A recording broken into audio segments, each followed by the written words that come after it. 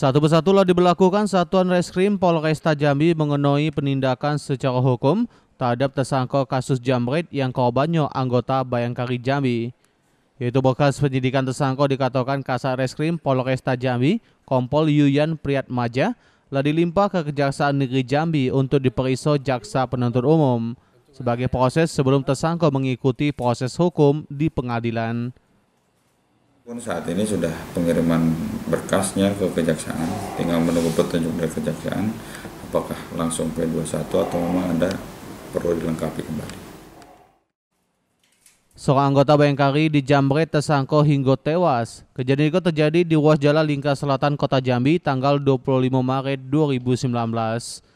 Korban tewas karena terjungkal dari motor, yaitu barang yang dijambret berupa duit 150 ribu dan sekor unit handphone. Tersangka adalah pria bernama Nopri Hari Pramungkas. Dia terancam di penjara lebih dari lima tahun. Doli Maulana, Jambi TV.